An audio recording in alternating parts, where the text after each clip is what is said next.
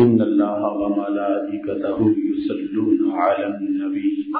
يا أيها الذين آمنوا صلوا عليه وسلموا تسليما. صلاة والسلام عليك يا سيدي يا رسول الله. وعلى آلك وأصحابك يا حبيب الله. مولاي صل وسلم دائما أبدا. على حبيبك خير الخلق كلهم.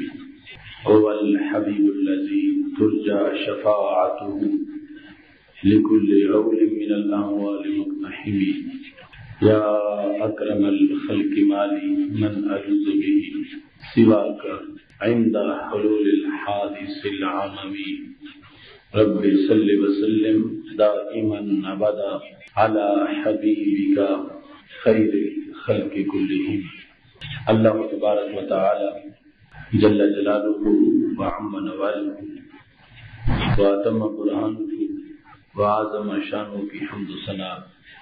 اور حضور سید المرسلین رحمت للعالمین، شفیع المذنبین، خاتم النبیین، مرشد الاولین والآخرین، احمد مجتبہ جناب محمد مصطفیٰ صلی اللہ علیہ وآلہ وصحابہ وبارک وسلم کے دربار بار میں حدیت السلام عرض کرنے کے بعد محتشم اسلامی حضرات، آج خلیفۃ الرسول بلا فصل، امیر المومنین، تاجدار صداقت، بحر علم و حکمت، حضرت سیدنا صدیق اکبر رضی اللہ تعالی عنہ کے یوم بسال کی مناسبت سے ہماری گفتگو کا موضوع ہے۔ سیدنا صدیق اکبر رضی اللہ تعالی عنہ اور محبت اہل بیت اطہار رضوان اللہ علیہ اجمعین۔ میری دعا ہے رب الجلال ہم سب کو قرآن و سنت کا فہم عطا فرمائے اور قرآن و سنت کے ابلاغ و تبلیغ اور اس کے مطابق عمل کی توفیق عطا فرمائے۔ اس سے قبل مختلف مواقع پر سیدنا صدیق اکبر رضی اللہ تعالی عنہ کے حوالے سے متعدد موضوعات پر گفتگو ہو چکی ہے۔ آج کا موضوع آپ کی سیرت اور شخصیت کے حوالے سے نہایت اہم موضوع ہے۔ سیدنا صدیق اکبر رضی اللہ تعالی عنہ اور اہل بیت اطہار رضوان اللہ علیہ مجمعین کے آپس میں جو خوبصورت تعلقات تھے اور محبت و اخوبت کا جو رشتہ تھا، یہ رسول اکرم نور مجسم شفیع معظم صلی اللہ علیہ وسلم کی تعلیمات کا ایک روشن باب ہے اور اس سے اہل بیت اطہار رضوان اللہ علیہ مجمعین اور صحابہ کبار رضوان اللہ علیہ مجمعین کے درمیان جو باہمی یگانگت کی اور ہم آہنگی تھی، اس کا بطور خاص اظہار ہوتا ہے۔ اور یہی اہل سنت و جماعت کا مسلک اور مذہب ہے کہ دین متین کے لیے جتنی قربانیاں صحابہ کرام علیہ رضوان اور اہل عبید اطہار رضوان اللہ علیہ مجمعین نے دی ہیں، اس کا تقاضا ہے کہ ہر دو جہاد کے ساتھ محبت کی جائے اور دونوں کے بارے میں اپنا یہ عقیدہ رکھا جائے کہ خالق کائنات جل جلالہ نے ان کو وفا کا پیکر بنایا تھا اور انہوں نے دین متین کی ایک دوسرے سے بڑھ کے بے مثال خدمت کی۔ اور رسول اکرم صلی اللہ علیہ وسلم نے دونوں جہاد کی خدمت کو قبول فرمایا ہے۔ محتشم صابن حضرات، سیدنا صدیق اکبر رضی اللہ تعالی عنہ کی تعلیمات کا خلاصہ یہ ہے کہ آپ نے رسول اکرم نور مجسم شفیع معظم صلی اللہ علیہ وسلم کے ساتھ ہر نسبت کی تعظیم کی ہے اور ہر نسبت کے تقاضوں کو پورا کیا ہے۔ ابن حجر نے تنبیہات میں اس کو روایت کیا ہے کہ ایک دن رسول اکرم نور مجسم، شفیع معظم صلی اللہ علیہ وسلم کی بارگاہ میں سیدنا صدیق اکبر رضی اللہ تعالی عنہ نے اپنی چاہتوں کا خلاصہ بیان کیا۔ فرمانے لگے کہ مجھے دنیا میں تین چیزوں سے بڑا پیار ہے اور میں یہ چاہتا ہوں کہ خالق کائنات جل جلالہ مجھے کائنات میں تین چیزیں عطا فرما دے۔ اور ان تین چیزوں کے حصول پر میں اپنی زندگی کو کامیاب زندگی سمجھتا ہوں۔ تو پوچھا گیا کہ وہ کون سی تین چیزیں ہیں جو تمہارے نزدیک پوری کائنات کا خلاصہ ہے۔ اور اگر وہ مل جائیں تو تمہارے نزدیک پوری کائنات کی رونق جو میسر آ جائے گی۔ تو سیدنا صدیق اکبر رضی اللہ تعالی عنہ کہنے لگے سب سے پہلی چیز یہ ہے ان نظر الى وجہ رسول اللہ صلی اللہ علیہ وسلم۔ کہ رسول اکرم صلی اللہ علیہ وسلم سامنے تشریف فرما ہوں اور میں اپنی آنکھوں سے نبی اکرم صلی اللہ علیہ وسلم کا چہرہ مبارک دیکھتا رہوں۔ یہ وہ چیز ہے جو مجھے پوری دنیا میں سے سب سے زیادہ پسندیدہ ہے۔ اور میں اس سے سب سے زیادہ محبت رکھتا ہوں کہ میرا کبھی بھی فراق نہ ہو۔ نبی اکرم صلی اللہ علیہ وسلم سے دوری نہ ہو اور کبھی بھی درمیان میں کوئی حجاب نہ ہو، میری آنکھیں ہوں اور محبوب علیہ السلام کا رخ زیبا ہو، میں نبی اکرم نور مجسم، شفیع معظم صلی اللہ علیہ وسلم کو دیکھتا رہوں۔ یہ ان تین میں سے پہلے نمبر پر چیز ہے کہ جس کو میں سب سے زیادہ محبوب سمجھتا ہوں۔ دوسرے نمبر پر فرمانے لگے، انفاق و مالی اللہ رسول اللہ صلی اللہ علیہ وسلم۔ مجھے ساری کائنات میں دوسرے نمبر پر یہ بات پسند ہے کہ مال میرا ہو اور حکم رسول اکرم صلی اللہ علیہ وسلم کا ہو، میں اپنا مال ان کے حکم پر قربان کرتا رہوں۔ اور جزر یہ اشارہ فرمائے، اس کے مطابق میں اپنا مال خرچ کرتا رہوں۔ اگر مجھے یہ موقع، مواقع میسر آتے رہے، تو یہ میری زندگی کی بہت بڑی چاہت ہے اور اس کو میں بڑی کامیابی سمجھتا ہوں۔ کہ رسول اکرم نور مجسم شفیع معظم صلی اللہ علیہ وسلم حکم فرماتے رہے اور میرے پاس اس وقت مال موجود ہو اور آپ کے فرمان کے مطابق وہ مال میں اللہ کے راستے میں وقف کرتا رہوں۔ تیسرے نمبر پر فرمانے لگے انتقون ابنتی تحت رسول اللہ صلی اللہ علیہ وسلم۔ میری یہ تمنا ہے، تیسری یہ چاہت ہے کہ بیٹی میری ہو اور رسول اکرم صلی اللہ علیہ وسلم کے عقد نکاح میں ہو۔ نبی اکرم نور مجسم، شفیع معظم صلی اللہ علیہ وسلم، اس کو اپنے عقد نکاح میں قبول کر لیں۔ تو یہ میری چاہت ہے تیسرے نمبر پر۔ خالق کائنات جل جلالہ نے سیدنا صدیق اکبر رضی اللہ تعالی عنہ کو یہ تمام تر چاہتے عطا فرما دی رسول اکرم نور مجسم، شفیع معظم صلی اللہ علیہ وسلم کا دیدار اور آپ کے چہرے کی طرف نگاہ، یہ جتنے مواقع حضرت صدیق اکبر رضی اللہ تعالی عنہ کو میسر آئے ہیں۔ شاید کسی دوسرے فرد کو ایسے مقامات میسر نہیں آئے۔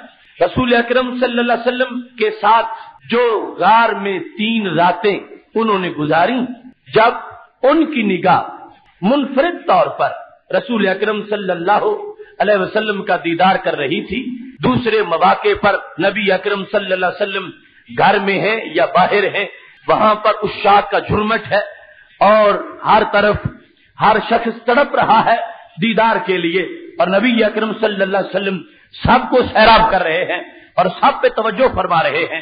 لیکن جس شخصیت کو خالق کائنات جل جلالہ نے بالکل تنہا ایک منفرد وقت دیدار کا عطا کیا ہے، وہ سیدنا صدیق اکبر رضی اللہ تعالی عنہ ہیں، جن کی نگاہیں مسلسل تین دن اور تین رات تک نبی علیہ السلاۃ السلام کے چہرے کے بوسے لے رہی تھیں اور ان کی نگاہیں نبی اکرم صلی اللہ علیہ وسلم پر جمی ہوئی تھیں اور خال کے کائنات جلال ان کو انفرادیت کے ساتھ ان کی چہت کا وہ مطلب اور مقصد عطا فرما رہا تھا کہ پوری کائنات میں سے جس چیز کو سب سے زیادہ صدیق اکبر رضی اللہ تعالیٰ عنہ نے پسند کیا ہے، اللہ تعالیٰ نے وہ ان کی چاہت پوری فرما دی۔ ہے مال کے لحاظ سے بھی ہر جہت میں ان کا یہ مقام تھا کہ کسی طرح بھی، کسی میدان میں بھی وہ پیچھے نہیں رہے اور ہمیشہ ان کا مال بہترین موقع پر نبی اکرم صلی اللہ علیہ وسلم نے مانگا ہے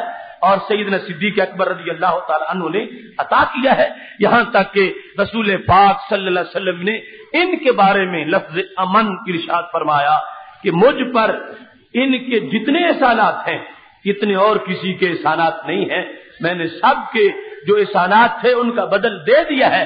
صدیق اکبر رضی اللہ تعالیٰ عنہ کے احسانات اب بھی باقی ہیں۔ اور یہ وہ نتیجہ تھا اس بات کا جو سیدنا صدیق اکبر رضی اللہ تعالیٰ عنہ نے اللہ سے دعا کی تھی۔ خال کے کائنات جل جلال نے ہر موقع پر ان کو پہلا نمبر عطا فرمایا۔ یہاں تک کہ جس دن حضرت عمر رضی اللہ تعالیٰ عنہ مال لے کر آگے تھے اور کہتے تھے الوم اسبک. آج تو پہلا نمبر میرا ہی ہوگا۔ لیکن جس نے صدیق اکبر رضی اللہ تعالیٰ عنہ جب مال لے کر پہنچے تو رسول اکرم صلی اللہ علیہ وسلم نے پوچھا ماں اب کئی کا لے کا اپنے گھر والوں کے لیے کیا چھوڑا ہے؟ تو کہنے لگے، اب کئی تو لحم اللہ و رسول میں گھر اللہ اور اس کی رسول کا نام چھوڑ کے آیا ہوں۔ اقبال کہتے ہیں، اتنے میں وہ رفیق نبوت بھی آ گیا، جس سے بنا اس کو محبت ہے استوار لے آیا اپنے ساتھ وہ مرد وفا ہر چیز جس کا چشمے جہاں میں ہو اعتبار، بولے حضور چاہیے، فکر عیال بھی۔ کہنے لگا وہ عشق و محبت کا رازدار، اے تجھ سے دیدہ ماہو انجم فروغ کی۔ اے تیری ذات باعث تکوین روزگار۔ پروانے کو چراغ ہے، بلبل کو پھول بس۔ صدیق کے لیے ہے خدا کا رسول بس۔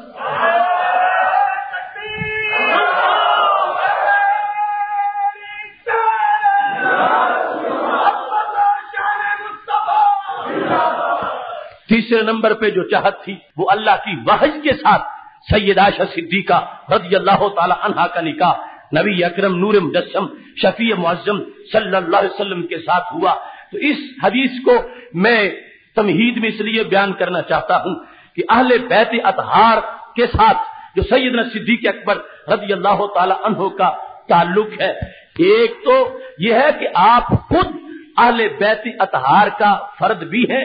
اس سے بڑا گھر کا فرد کون ہوگا؟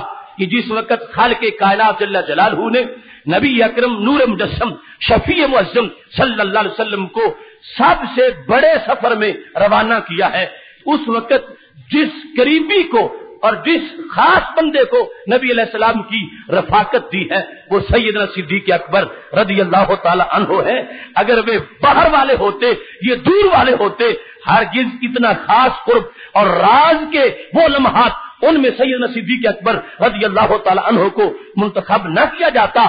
خال کے کائنات جل جلال نے غار میں ان کو ساتھ رکھ کے اور پھر مزار میں ان کو ساتھ رکھ کے اس بات کو واضح کر دیا ہے کہ میرے ابو بکر کو میرے نبی علیہ السلام کی در کا نہ قرار دے دیا جائے۔ میں نے ان کو ہمیشہ ان کے گھر کا بنا دیا ہے۔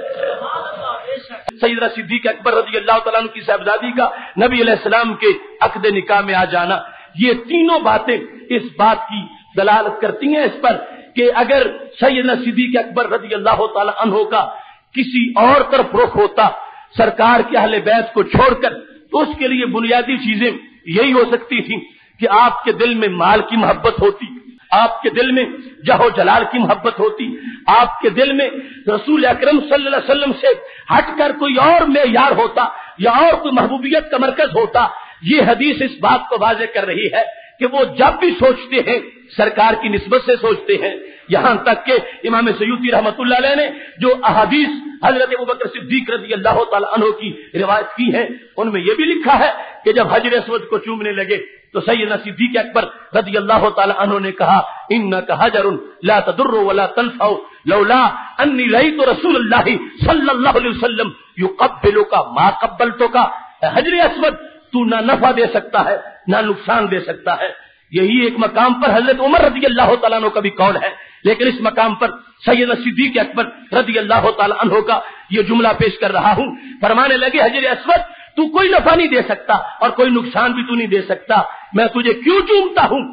صرف اس واسطے چومتا ہوں کہ میں نے نبی علیہ السلام کو تجھے چومتے دیکھا ہے۔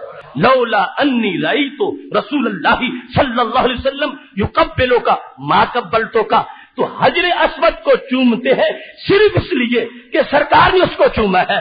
اس کا ادب کیا، اس کی تعظیم کی، اس کے ساتھ محبت رکھی۔ یہ اس بات کی دلیل تھی۔ لوگوں صدیق اکبر، اگر ایک پتھر کو نسبت رسول کی وجہ سے عظیم سمجھتے ہیں، تو جو ان کے اہل بیت اتہار ہیں اور جو خون نبوی ہوگا، اس کو کتنا عظیم سمجھیں گے اور ان کے ساتھ کتنا محبت کا رابطہ ہوگا۔ اگر ایک لمحہ نبی علیہ السلام کی ہونٹ مقدس پتھر کو لگے ہیں، وہ بھی صدیق اکبر رضی اللہ تعالی عنہ کے لیے محترم بن گیا ہے۔ تو جن کو نبی علیہ السلام نے اپنی خوشبو کہا ہے، اپنا خون کہا ہے، اپنے جگر کا ٹکڑا کہا ہے، جب رسول اکرم صلی اللہ علیہ وسلم نے اپنی وہ نسبت ان حضرات کو، اہل بیت کو عطا کی ہے، جو پتھر کو چوم رہے تھے اور پتھر کا ادب کر رہے تھے، وہ اس بات کی دلالت پیش کر رہے تھے کہ جہاں جہاں نبی علیہ السلاۃ والسلام کا نام آئے گا، وہاں وہاں ہمارے لب پہ درود و سلام آئے گا۔ اس واسطے سیدنا صدیق اکبر رضی اللہ تعالی عنہ کی پوری زندگی کا خلاصہ وہ بنتا ہی ادب سے ہے اور عقیدت اور محبت سے ہے۔ جب وہ ساری زندگی اپنے مال کے لیے مصرفی یہ چاہتے رہے کہ میرا مال ہو، حکم میرے نبی علیہ السلام کا ہو اور یہ مال میں دیتا ہوں اور تقسیم ہوتا رہے۔ ان کو اہل بیت کے ساتھ عداوت مال کی وجہ سے بنتی تو کیوں بنتی؟ جبکہ انہوں نے اول سے لے کر آ کر تک ہمیشہ اپنا مال نبی علیہ السلام کے نام پہ قربان فرمایا ہے۔ بخاری شریف میں سیدنا صدیق اکبر رضی اللہ تعالی عنہ کا ایک جملہ جو کہ اہل بیت اطہار کی محبت کے لیے پورا ایک چارٹر ہے اور اس پہ گھنٹوں بحث کی جائے پھر بھی کم ہے۔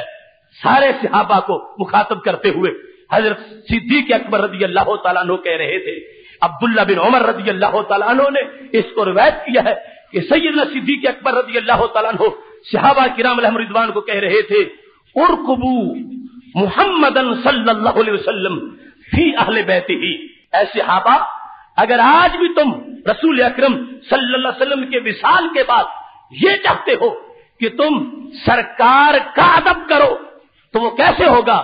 پر میں ان کی اہل بیت کا ادب کرتے رہو۔ اہل بیت کا ادب کرو گے تو نبی علیہ السلام کا ادب ہوگا۔ پھر فرمایا، وفا اہل بیت سے کرو گے تو نبی علیہ السلام سے وفا ہوگی۔ محبت اہل بیت سے کرو گے تو نبی علیہ السلام سے محبت ہوگی۔ یہ محدثین نے یہاں پر جو ارکبو محمد صلی اللہ علیہ وسلم اس سے پہلے سارے مضاف کے جملے جو ہیں، الفاظ، ان کو رکھ کے اس بات کو واضح کیا۔ اگر تم چاہتے ہو کہ آج تم نبی علیہ السلام کا ادب کرو، تو وہ تب ہوگا جب اہل بیت کا ادب کرو گے۔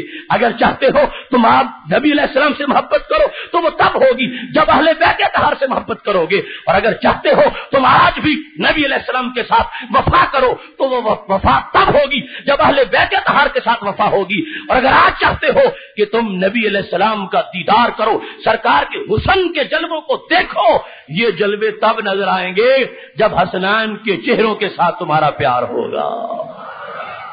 کتنا جامع نصاب حضرت صدیق اکبر رضی اللہ تعالیٰ عنہ نے بحثیت امیر المومنین تمام صحابہ کو دیا، فرما اہل بیت اطہار کے ساتھ ہمارا رشتہ اتنا گہرا ہے کہ یہ ہمیں نبی علیہ السلام کی ذات کی طرف لے جانے والے ہیں۔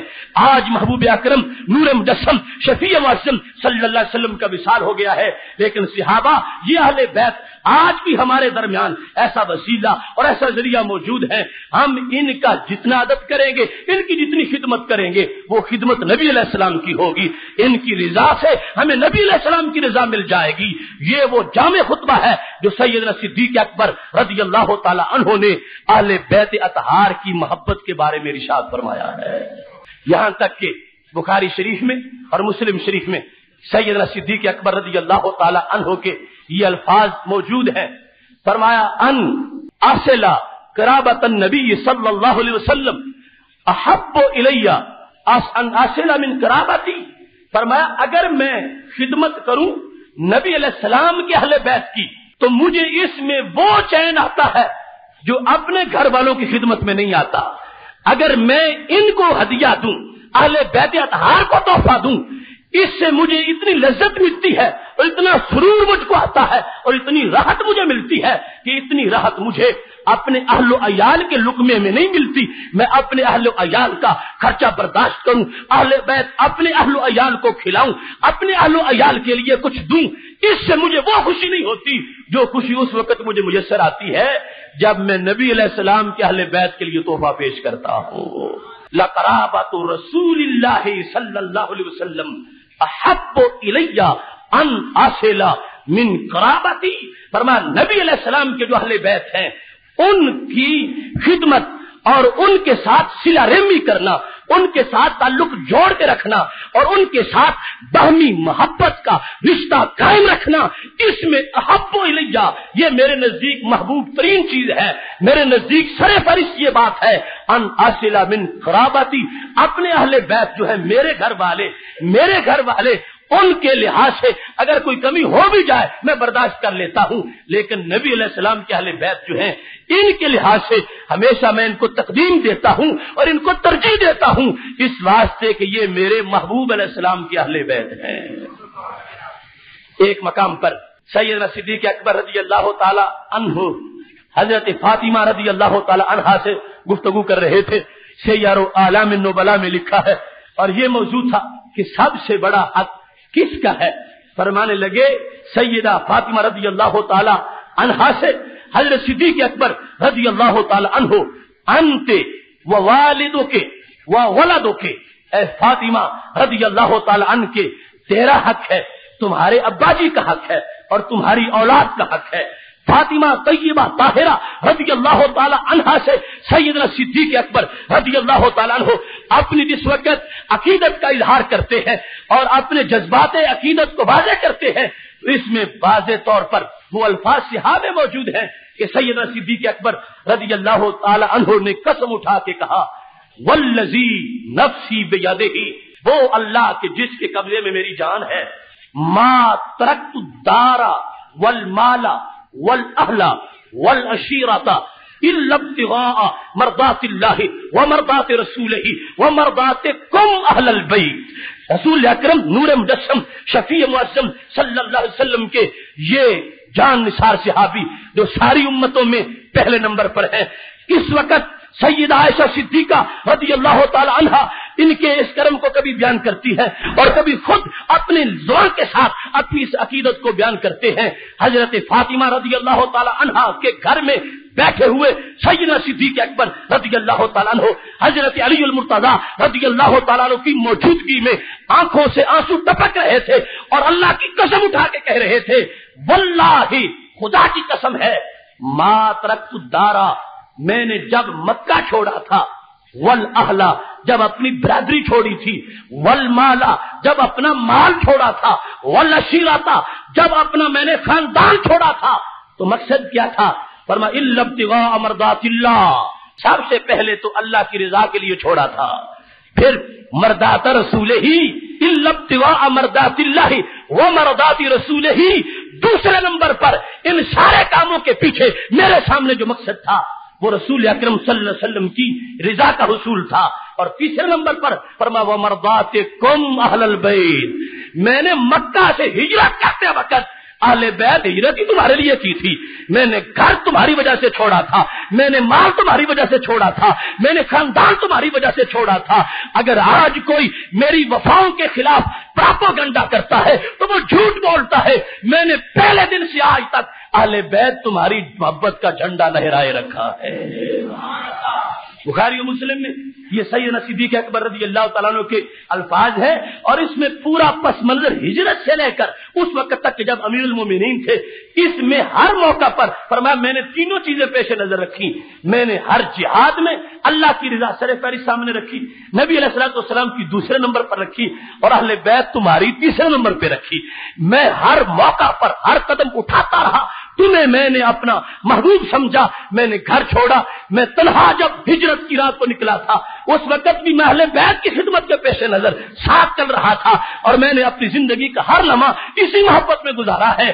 سب سے پہلے ہر بات میں اللہ کی رضا کو پیش نظر رکھتا ہوں، پھر نبی اکرم صلی اللہ علیہ وسلم کی رضا کو تلاش کرتا ہوں اور پھر مردات کم اہل البیت اہل البیت، میں نے اہل بیت تمہاری رضا کے لیے جتنے کارنامے کیے، جتنی خدمت اسلام کی، جتنے میں نے جہاد کیے، جتنے فتنوں کی میں نے سرکوبی کی، اس میں پیش نظر تمہاری خدمت تھی۔ جب میں یمامہ میں مسلمہ کذاب کے خلاف لڑ رہا تھا، اس وقت بھی تمہاری خدمت کے طور پر لڑ رہا تھا۔ جس وقت میں نے مرتدین کی سرکوبی کی ہے، اس وقت بھی تمہاری خدمت میں مصروف تھا۔ میں نے زندگی کی ہر سانس میں کبھی بھی تم کو بلایا نہیں ہے۔ ہمیشہ تمہارے خادم کی حیثیت سے میں نے اپنا ہر کارنامہ سر انجام دیا ہے۔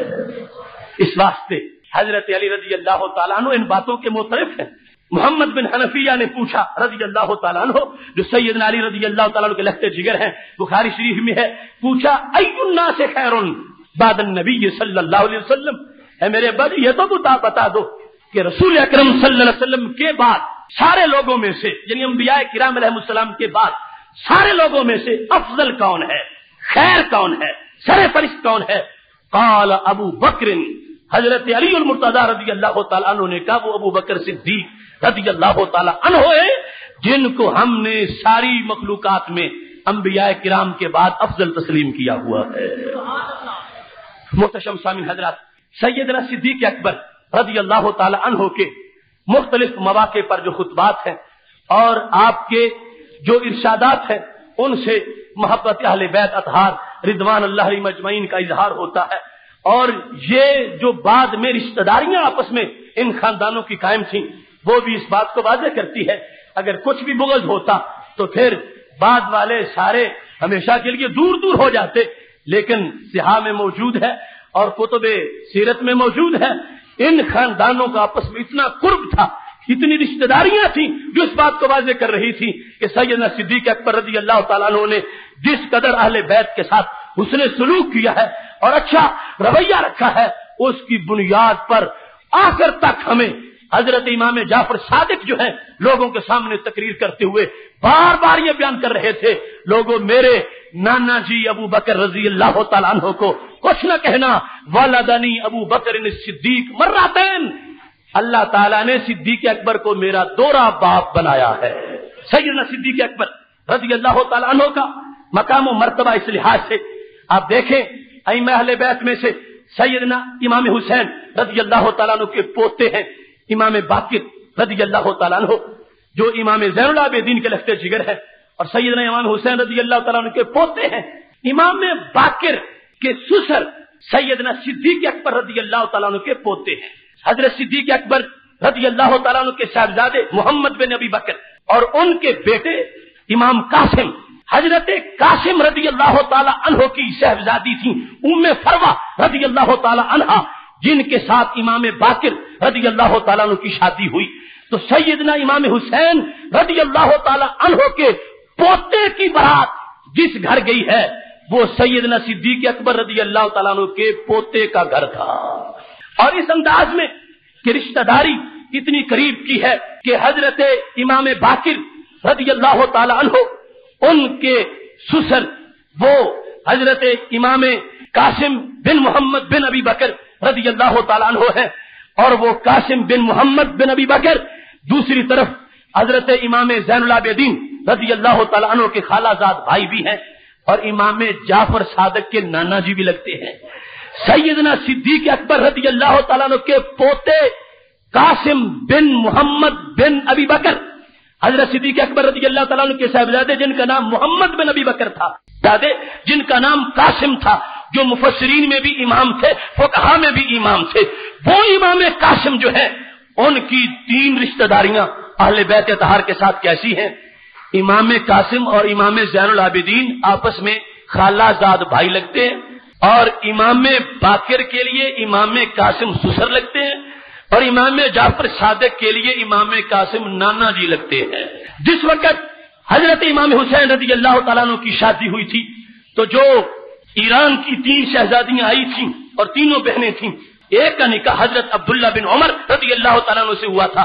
دوسری کا نکاح حضرت محمد بن ابی بکر رضی اللہ تعالیٰ عنہ سے ہوا تھا اور تیسری کا نکاح حضرت امام حسین رضی اللہ تعالیٰ عنہ سے ہوا تھا جو محمد بن ابی بکر سے جن کا نکاح ہوا ان سے پیدا ہوئے امام قاسم اور جن کا نکاح حضرت امام حسین سے ہوا ان سے پیدا ہوئے حضرت امام زین العابدین رضی اللہ تعالیٰ عنہ۔ تو اس لحاظ سے حضرت امام قاسم جو سیدنا صدیق اکبر رضی اللہ تعالیٰ عنہ کے پوتے تھے وہ حضرت امام حسین رضی اللہ تعالیٰ عنہ کے پوتے امام زین العابدین کے خالہ زاد بھائی لگتے تھے۔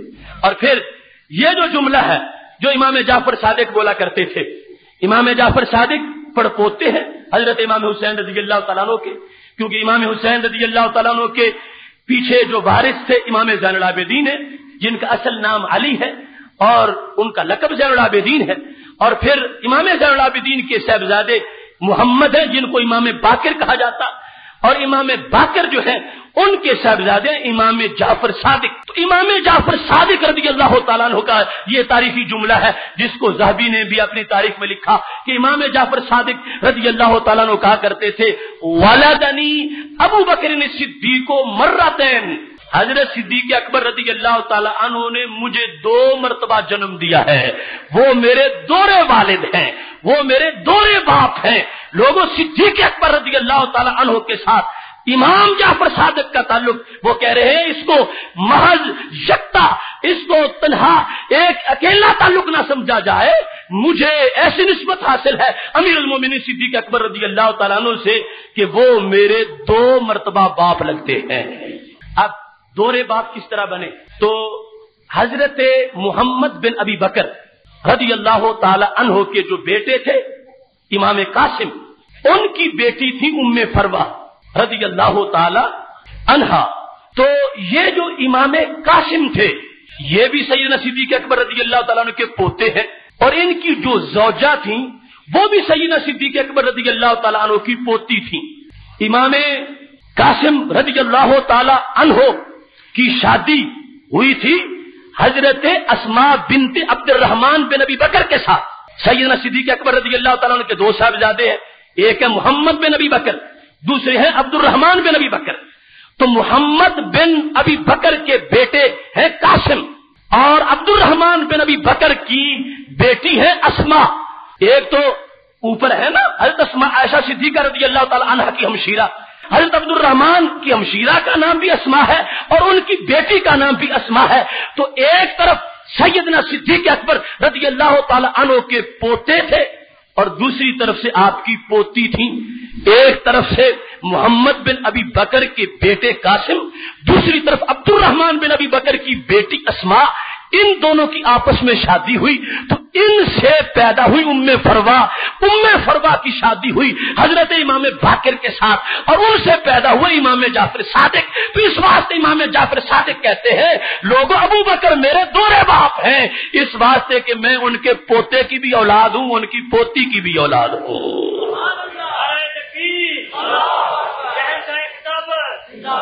ولدنی ولدنی ابو بکر مرتین ابو بکر صدیق ساتھ یہ لقب بولا. فرمایا، وہ میرے دورے باپ ہیں. ہمارے سامنے سیدنا صدیق اکبر رضی اللہ تعالیٰ عنہ کے بارے میں کوئی تنقید نہ کرے. وہ ہمارے اتنے بڑے جد ہے اتنی بڑی حیثیت ہے. امام جعفر صادق رضی اللہ تعالیٰ عنہ کے کیونکہ نانا ہے سیدنا امام باقی رضی اللہ تعالی عنہ کے اس فردن امام جعفر صادق کے لیے نانا ہے قاسم بن محمد بن ابی بکر، چونکہ قاسم بن محمد بن ابی بکر کی صاحبزادی حضرت ام فروا رضی اللہ تعالی عنہا، یہ والدہ ہے امام جعفر صادق کی، اور حضرت ام فروا رضی اللہ تعالی عنہا، یہ سیدہ صدیق اکبر رضی اللہ تعالی ان ہو کہ پوتے کی بھی بیٹی ہے اور پوتی کی بھی بیٹی ہے۔ کیونکہ جو رشتہ ہوا تھا محمد بن ابی بکر کے صاحبزادے کاشم کا، وہ حضرت عبد الرحمان بن ابو بکر کی بیٹی اسما کے ساتھ ہوا تھا۔ تو اس واسطے یہ کہتے تھے کہ مجھے اللہ نے یہ سعادت دی ہے، لوگوں کا ایک رشتہ ہوتا ہے صدیق اکبر رضی اللہ تعالیٰ عنہ کے ساتھ۔ کسی کو ایک نسبہ ملا، کسی کو کچھ بھی نہ ملا۔ امام جعفر صادق کہنے لگے، مجھے اللہ تعالیٰ نے ان کی دوری نسبت عطا فرما رکھی ہے۔ یہ معاملات تھے۔ اگر درمیان میں ان کتاب ہوتا، کہیں ظلم ہوتا، کہیں کوئی تجاوز ہوتا، تو ہر چیز ایسی صورتحال بعد میں دیکھنے میں نہ آتی۔ یہ حضرت صدیق اکبر رضی اللہ تعالی عنہ کا وہ واضح کردار تھا کہ جس کی وجہ سے بعد میں ہمیشہ رشتہ داریاں اسی طرح قائم رہیں اور سیدہ عائشہ صدیقہ رضی اللہ تعالی عنہا کے علیحدہ اس سلسلے میں فرامین ہے جو اس پورے مضمون کو ثابت کرتے ہیں۔ اور یہاں تک وہ معاملہ تھا مسئلہ باغ فدق کا وہ تفصیل سے ہم نے پہلے اس کو بیان کر رکھا ہے اور اس کی تمام جزیات کی حیثیت کو واضح کیا ہے۔ اس وقت بھی سیدنا صدیق اکبر رضی اللہ تعالی عنہ نے سیدہ فاطمت الزہرا رضی اللہ تعالی عنہ کے پاس جا کے اپنی طرف سے یہ الفاظ پیش کیے تھے کہ اے فاطمہ رضی اللہ تعالی عنہ کے ماں خیر و ایش حیات عیشہ وانت ساکتت علیہ۔ فاطمہ رضی اللہ تعالیٰ عنہ کے، میں اپنی زندگی کو سمجھتا ہی کچھ نہیں، میری زندگی کی کوئی حیثیت نہیں۔ اگر تم مجھ پر ناراض رہو اور تمہاری ناراضگی ہو، میں اس زندگی کو زندگی نہیں سمجھتا، میں اس زندگی کو موت سمجھتا ہوں۔ اگر ان کانا اندا کی عہد انت شادی کا تل امینا بل کا مجھے دکھا دو، اگر نبی علیہ السلام نے کوئی تمہیں عہد کیا ہوا تھا فدق کے بارے میں، تو تم صادقہ بھی ہو۔ مصدقہ بھی ہو، امینہ بھی ہو، تم سچی ہو اور میں تمہیں سچا قرار دیتا ہوں، میں تجھے امینہ سمجھتا ہوں، تم خیانت کرنے والی نہیں ہو۔ اگر کوئی جملہ نبی علیہ السلام نے بولا تھا تو فرما دو، میں تو حدیث سنا رہا ہوں کہ محبوب علیہ السلام نے فرمایا ہے ماں ترک نہ ہو صدقہ، ہم جو چھوڑیں گے وہ صدقہ بن جائے گا۔ صدق سے میں تمہاری خدمت میں سال کا خرچ پیش کرتا رہوں گا، مگر وہ ورثہ کسی بندے کا نہیں بنے گا، وہ اسلام کے بیت المال کا حصہ ہوگا۔ اگر تمہارے پاس کوئی ایسی بات ہے تو مجھے بتا دو۔ حضرت فاطمہ رضی اللہ تعالی عنہا نے واضح طور پر کہا، میرے پاس ایسی کوئی وصیت نہیں ہے۔ میں نے تو صرف اس لیے یہ کہہ دیا تھا کہ میں یہ قرآن مجید پڑھتی تھی تو وہاں پر یہ موجود تھا کہ جس وقت کوئی فوت ہو جاتا ہے اور وہاں پر جو ہے یہ حصہ موجود تھا کہ جس وقت کوئی دنیا سے جاتا ہے، پھر اس کے بعد اولاد کو حصہ ملتا ہے اور اس حصے کے مطابق بیٹیوں کو بھی ملتا ہے، بیٹوں کو بھی ملتا ہے۔ اور میں یہ نہیں سمجھتی تھی کہ یہ معاملہ نبوت کے علاوہ کا ہے۔ میں نے اس بنیاد پہ سوال کیا تھا۔ اور اب میں اپنی طرف سے اپنی رضامندی کا اعلان کرتی ہوں کہ جو فیصلہ تمہارا ہے وہ مجھے منظور ہے، تم جانو میرے ابا جی جانے، آج کے بعد میری زبان سے یہ سوال نہیں ہوگا۔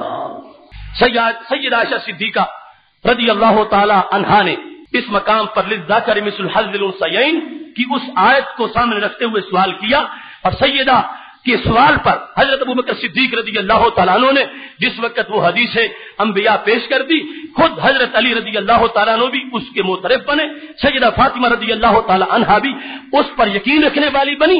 اس سے سب سے بڑی دلیل یہ ہے کہ جب سیدنا علی المرتضی رضی اللہ تعالیٰ عنہ کی خلافت کا زمانہ آیا، تو جو فیصلہ فتق کا سیدنا صدیق اکبر رضی اللہ تعالیٰ عنہ نے کیا تھا، حضرت علی نے اسی کو برقرار رکھا۔ اگر اس وقت زیادتی ہوئی ہوتی تو اب اپنی حکومت میں تو تبدیل کر لیتے۔ اب خود تو اس کو اپنا ورثہ قرار دے دیتے۔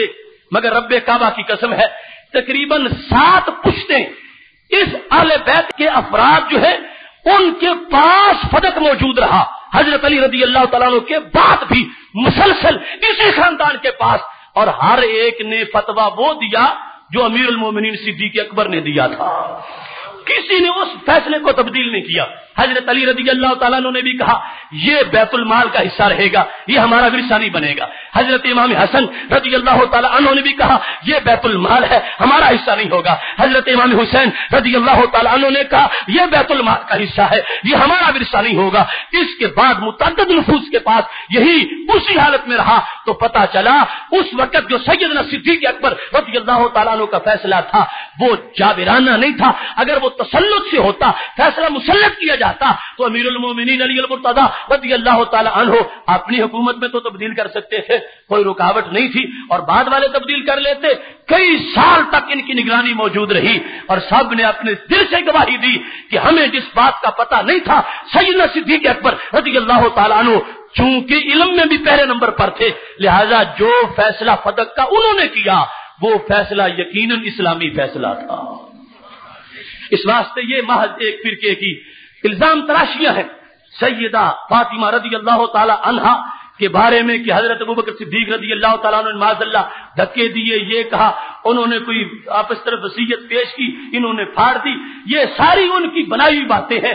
حضرت صدیق اکبر رضی اللہ تعالیٰ بحثیت خاتم ان کے گھر میں پہنچے۔ حضرت علی رضی اللہ تعالیٰ عنہ نے کہا، اے فاطمہ، ابو بکر دروازے پہ آ گئے ہیں۔ ہاں ابو بکر جن بالباب۔ یہ دروازے پہ کھڑے ہیں۔ اندر آنے کی اجازت چاہتے ہیں۔ اگر اجازت ہو تو اندر بلا لوں۔ حضرت فاطمہ رضی اللہ تعالیٰ عنہ نے اجازت دی ہے۔ سیدنا صدیق اکبر رضی اللہ تعالیٰ عنہ آگے ہے اور حضرت فاطمہ رضی اللہ تعالیٰ عنہ کو اپنے طور پر افسوس تھا کہ اتنا واضح حکم تھا اور میں نے جا کے پھر بھی سوال کر ڈالا۔ اس افسوس کی وجہ سے جو ویسے بیمار بھی تھی اور گھر میں بھی تھی لوگ سمجھ رہے تھے کہ شاید آپس میں کوئی بائیکاٹ ہو گیا ہے۔ حضرت سیدنا صدیق اکبر رضی اللہ تعالیٰ عنہ گھر میں پہنچے ہیں اور حضرت علی رضی اللہ تعالیٰ عنہ اس بات کے گواہ ہیں کہ اس وقت تک صدیق اکبر رضی اللہ تعالیٰ عنہ نہیں اٹھے۔ جب تک فاطمہ رضی اللہ تعالی عنہا نے یہ زبان سے نہیں کہا کہ ابو بکر تم نے جو فیصلہ کیا، میرے نا، میرے ابا جی کی شریعت کے مطابق کیا۔ مجھے اس بارے میں اب کوئی تشویش نہیں ہے۔ اور اس کے اثرات دیکھو۔ حضرت امام زین العابدین رضی اللہ تعالی عنہ، جن کے بارے میں مدینی کہتے ہیں کہ مارئی تو ہاشمی افقا من علی ابن الحسین۔ میں نے اپنے زمانے میں امام زین العابدین سے بڑا کوئی فقی نہیں دیکھا۔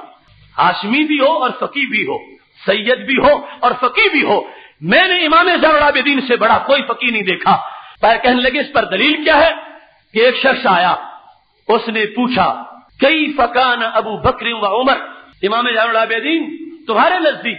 حضرت ابو بکر صدیق رضی اللہ تعالیٰ عنہ اور حضرت عمر فاروق رضی اللہ تعالیٰ عنہ کا مرتبہ کیا ہے؟ کئی فقان ابو بکر و عمر؟ امام زہبی نے سیر و عالم نوبالا میں اس کو لکھا ہے کہ جب اس شخص نے یہ سوال کیا تو مدینی کہتے، میں حیران رہ گیا۔ امام زین العابدین کی فقاحت پر اتنا جامع جواب دیا۔ روزہ رسول صلی اللہ علیہ وسلم کے پاس بیٹھے ہوئے تھے۔ فاشار الى القبر۔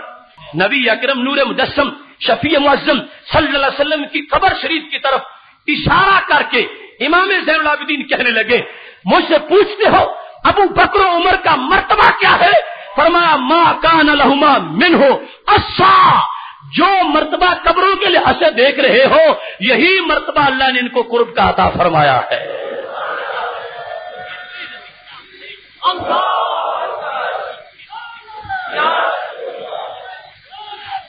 اشارہ کیا امام زین العابدین نے، فرمایا، دیکھو، یہ قبریں ساتھ ملی ہوئی ہیں۔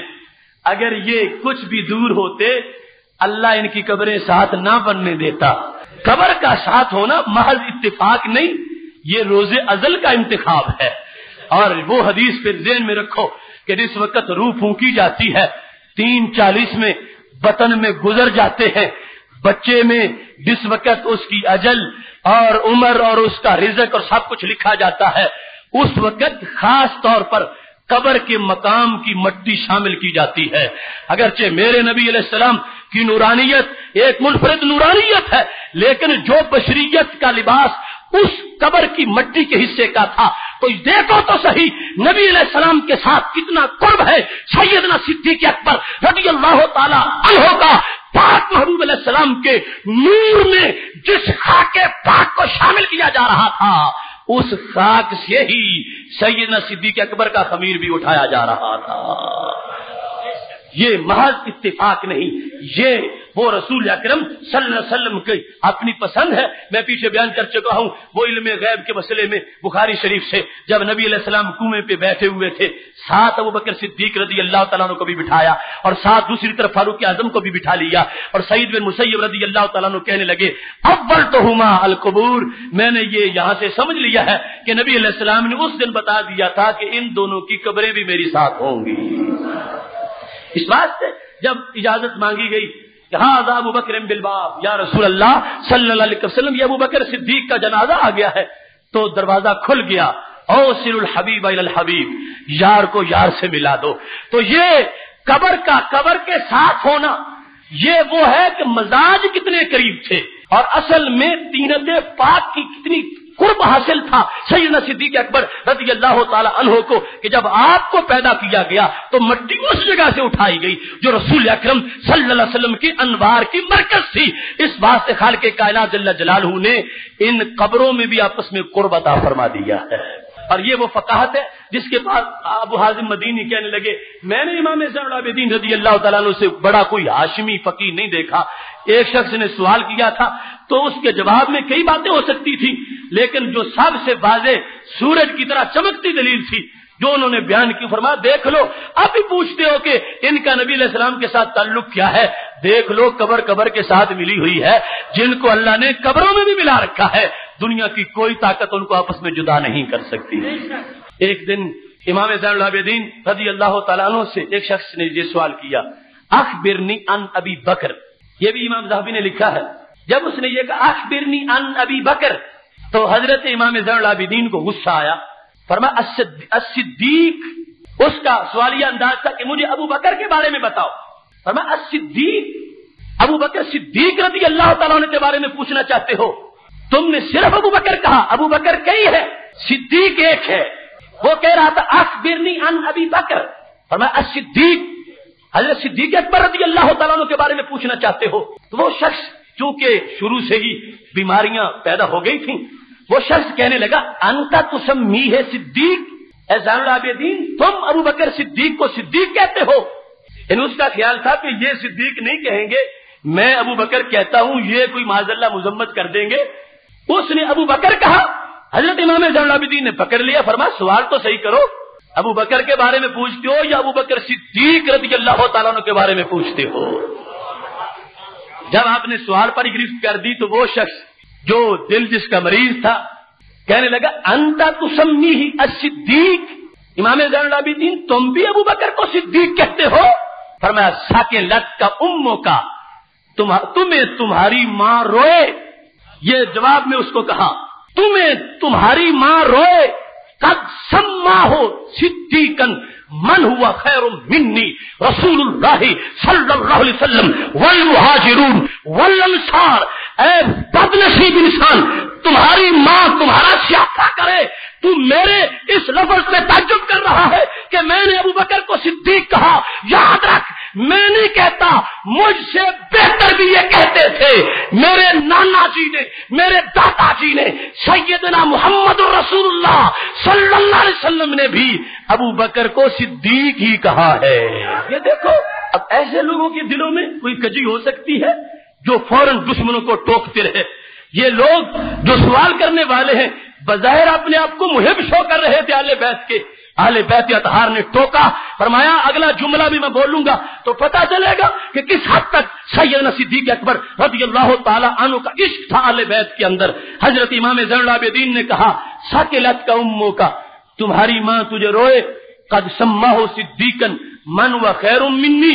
تو مجھ پر تعجب کرتا ہے کہ میں نے ان کو صدیق کہا، میری کیا حیثیت ہے؟ قد سما ہو ان کو صدیق اس ذات نے بھی کہا جو کروڑ درجہ مجھ سے بہتر ہے۔ کون؟ فرما رسول اللہ صلی اللہ علیہ وسلم۔ سارے رسولوں کے سردار بھی ان کو صدیق کہا کرتے تھے۔ اب فرما صرف وہی نہیں، المہاجرون، سارے مہاجر جو مکہ شریف سے چل کے مدینہ شریف کہتے وہ بھی بولتے تھے تو ان کو صدیق کہتے تھے۔ وہ انصار سارے انصار بھی ان کو صدیق کہتے تھے۔ کہنے لگے، یہ ہے سارا دین اور یہ ہے سارا اسلام۔ نبی علیہ السلام کی ذات ہے، پھر انصار ہیں، پھر مہاجرین ہیں۔ مہاجرین میں اہل بیت اتہار بھی ہیں۔ تو فرمانے لگے، مجھ پر تعجب نہ کرو زیر اللہ بھی دین نے بھی اپنا فتوا بیان نہیں کیا۔ میں نے تو زبان رسالت والا اعلان کیا ہے۔ میں نے سارے مہاجرین، سارے اہل بیت اتہار اور سارے انصار کا جو متفق نعرہ تھا کہ وہ ابو بکر کو صدیق کہتے تھے، میں نے اس کے مطابق کہا، تم جسارت نہ کرو۔ میرے سامنے صرف ان کو ابو بکر کہہ کے میں یہ سن نہیں سکتا۔ جب تک صدیق نہیں کہو گے، میں تمہارے سوال کا جواب نہیں دوں گا۔ حضرت امام زین اللہ بدین رضی اللہ تعالیٰ نے یہ جملہ بول کے کیا فرمایا؟ فرما ملم یوسم صدیق ماں سب تک اللہ کو کتنا گرم جملہ تھا. فرمانے لگے، جو شخص امیر المومنین حضرت سید صدیق اکبر رضی اللہ تعالیٰ عنہ کو صدیق نہیں کہتا، فرمایا، اللہ اس کے کلمے کی تصدیق نہیں کرے گا۔ ملم یوسم صدیق ماں صدق اللہ کال ہوں پر میں اللہ کبھی بھی اس کے کال کی تصدیق ہی نہیں کرے گا۔ اللہ اس کے کال کو، ایمان والے کال کو، یقین والے کال کو، توحید والے کال کو اور رسالت والے کال کو تب مانے گا جب وہ نبی علیہ السلام کے رفیق غار کو صدیق کہے گا۔ عظیم امام، زہبی حفاظ میں سے ہے۔ حدیث میں اور بہت بلند بلند مقام ہے۔ اور ان کے علاوہ درجنوں ماخذ میں یہ امام زین العابدین رضی اللہ تعالیٰ عنہ کا جملہ موجود ہے۔ فرمایا، تم نے مجھے میرے بارے میں تجرب کیا کہ میں صدیق کہتا ہوں۔ ان کو تو سارے ہی صدیق کہتے ہیں۔ فرشی بھی صدیق کہتے ہیں، عرشی بھی صدیق کہتے ہیں۔ انصار بھی کہتے ہیں، مہاجرین بھی کہتے ہیں۔ ال بیت بھی کہتے ہیں، اصحاب بھی کہتے ہیں۔ اور میں تو یہ کہتا ہوں کہ جو شخص ان کو صدیق نہیں مانتا اللہ تبارک و تعالیٰ اس کے ایمان کی تصدیق نہیں فرمائے گا۔ اور یہ بھی ان کی فقاحت کی دلیل ہے۔ اگر صرف اسی بات کو گرانو سننے سے بیان کیا جائے تو اس پر درجنوں سینکڑوں دلائل ہیں کہ جو سید صدیق اکبر رضی اللہ تعالی عنہ کو صدیق نہیں مانتا، آپ کے ایمان کی تصدیق نہیں کرتا، اس کو لازم آئے گا بل واسطہ اور بعض جگہ بلا واسطہ قرآن مجید کی آیات کا انکار کر جائے اور جو منکر قرآن ہو جائے گا، اس کا ایمان کیسے بچ سکے گا؟ وہ ذات ان کے بارے میں قرآن بولتا ہے یقول صاحب ہی لا تحزن، ان اللہ مانا اللہ نے فرما دیا نبی علیہ السلام کا جملہ ساتھ ملا کر کہ میں تمہارے ساتھ بھی ہوں، ان کے ساتھ بھی ہوں۔ جب اللہ فرماتا ہے کہ میں صدیق کے ساتھ ہوں اور کوئی شخص صدیق کی تصدیق ہی نہیں کرتا، مانتا ہی نہیں ہے، پر میں اس کا ایمان کبھی ایمان ہو ہی نہیں سکتا۔ اگلا جملہ، حضرت امام العابدین رضی اللہ تعالیٰ نے بولا فرما احبہما۔ جاؤ، اگر بچنا چاہتے ہو تو ابو بکر صدیق رضی اللہ تعالیٰ عنہ سے بھی محبت کرو، عمر فاروق رضی اللہ تعالیٰ عنہ سے بھی محبت کرو۔ چونکہ سوال میں دونوں کا ذکر تھا پیچھے، اور یہاں پر کہ کئی فقان ابو بکر عمر، ان دونوں کا مرتبہ کیا ہے؟ اور یہاں پھر انہوں نے جس وقت بولا اہبا ہوما ساتھ اس چیز کو بھی بیان کر دیا کہ یہ محبت نہایت ضروری ہے، اور جب تک یہ محبت نہیں ہوگی، بندے کو دونوں جہاں میں کامیابی میسر نہیں آ سکتی۔ محتشم سامین حضرت حضرت علی رضی اللہ تعالی عنہ کو ایک شخص نے آ کے شکایت لگائی۔ الوداع نہایا میں موجود ہے۔ وہ خطبہ دے رہے تھے، سوید بن غفلہ آ گئے۔ اور انہوں نے کہا، میں بھی سن کے آیا ہوں۔ ایک کالا انسان بیٹھا ہوا، حضرت ابو بکر صدیق رضی اللہ تعالیٰ عنہ کی پر تنقید کر رہا تھا۔ حضرت علی رضی اللہ تعالیٰ عنہ اپنی خلافت کے زمانے میں ممبر نبوی پہ بیٹھے ہیں۔ خطبہ دے رہے ہیں، غصے میں آ گئے۔ فرمایا ایک رو رقت نہ ہو دونوں آنکھوں سے آنسو نکل آئے۔ فرمایا، تم لوگ جانتے نہیں ہو کہ حضرت بکر صدیق رضی اللہ تعالی انہما کا مقام کیا ہے، ان کا مرتبہ کیا ہے؟ فرمایا، میری دعا تم نے نہیں سنی؟ جب بھی دعا مانگتا ہوں تو میں تو یہ کہتا ہوں اللہ اسلحنی بما اصلاح تبھی خلفاء راشدین اے اللہ، میری بھی یوں اصلاح کر جس طرح تو نے خلفاء راشدین کی اصلاح کی ہے۔ تو لوگوں نے پوچھا، یہ کن کے حوالے سے مانگتے ہو؟ ان جتنے ہی مانگتے ہو، زیادہ نہیں مانگتے؟ وہ کیا ہے کہ جن کے آگے کوئی ہاتھی تمہیں نظر نہیں آتی؟ وہ سب کچھ ہے۔ کون ہے؟ فرما ہما شیخ الاسلام، امام الہدا ابو بکر و عمر۔ لوگوں جن کا نام لے کے میں اللہ سے مانگتا ہوں کہ ان جیسا مجھے دے، وہ میرے شیخ الاسلام ہے شیخ الاسلام شیخ الاسلام۔ تسنیہ کا سیگا ہے شیخان سے۔ شیخ الاسلام۔ فرما یہ شیخ الاسلام ہے سیدنا صدیق اکبر رضی اللہ تعالیٰ ان کو معمولی نہ سمجھو، یہ شیخ الاسلام ہے ایک وہ ہے جنہیں ہم شیخ الاسلام کہیں۔ اور ایک وہ ہے جنہیں علی شیخ الاسلام کہیں کتنا بڑا مقام ہے۔ حضرت سیدنا صدیق اکبر رضی اللہ تعالیٰ عنہ کا، حضرت عمر رضی اللہ تعالیٰ عنہ کا، کہ جن کو شیخ الاسلام کہہ کر حضرت علی رضی اللہ تعالیٰ عنہ بلا رہے تھے اور پکار رہے تھے اور آواز دے رہے تھے کہ یہ وہ لوگ ہیں جو امام الہدا ہے جنہوں نے زندگیاں اسلام کے لیے وقف کی ہیں۔ اور فرمانے لگے، میں اللہ کے پاس جاتے وقت یہ چاہتا ہوں کہ جس طرح کا نام اعمال صدیق اکبر رضی اللہ تعالیٰ عنہ کا ہے اللہ مجھے بھی ایسا نام اعمال عطا فرما دے۔ اگر ان کے دل میں بھی ایسی بات ہوتی کو ظلم اور تعدی کا خیال ہوتا، تو حضرت صدیق اکبر رضی اللہ تعالیٰ عنہ جیسے نام اعمال کیوں مانگتے؟